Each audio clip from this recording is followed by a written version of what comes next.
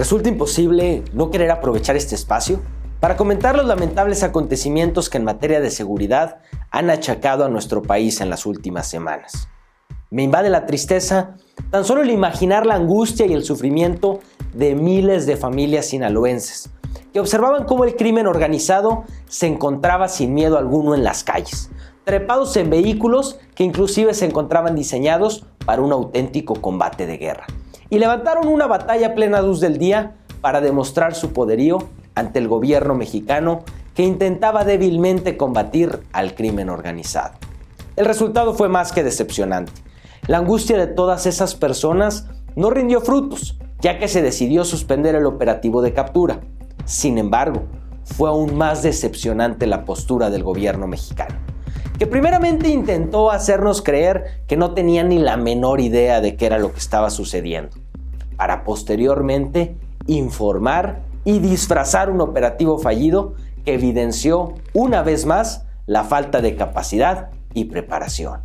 Debo de admitir que transcurridos los acontecimientos anteriores, llegué a pensar que gran parte de la población despertaría y comenzaría a exigir más a nuestros gobernantes.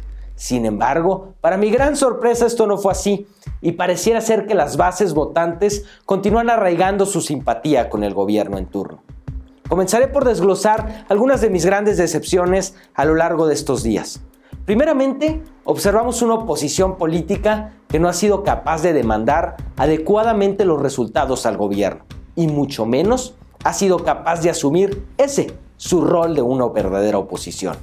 Aunado a ello, pareciera que el grueso de la sociedad civil no ha logrado despertar de este adoctrinamiento López Obradorista, en el que se asumen las consecuencias simplemente pretendiendo culpar a la mafia del poder.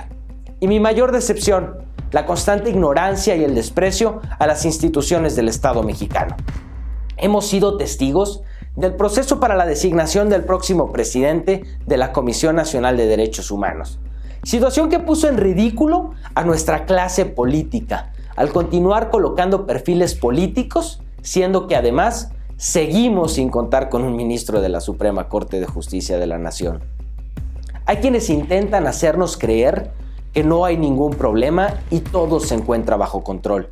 Pero quienes anhelamos un auténtico Estado de Derecho, sabemos que nos encontramos muy lejos de ello, sin un tribunal constitucional fuerte y sin un organismo eficaz protector de los derechos humanos.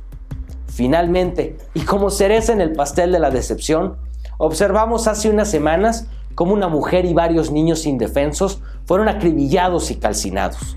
Ante todo lo anterior, no puedo expresar de otra manera la impotencia y la rabia que me da observar la realidad e imaginar el futuro en el que llegarán nuestras próximas generaciones. La intención de estas palabras consiste en realizar un llamado a la ciudadanía para despertar y considerar nuestra situación actual. Evidentemente, no se trata únicamente de culpar al gobierno por su experiencia o su inexperiencia, sino también de que hagamos conciencia ciudadana y respondamos. Se trata de ser corresponsables de nuestras decisiones en las urnas, de entender que debemos de creer e impulsar un sistema político que deje de votar por el partido y se enfoque en las personas. Aunque cada vez tengamos menos tiempo para reaccionar, considero que es momento de hacer conciencia y pensar por el bien de nuestro país. ¿Estaremos listos? Esto es A Criterio.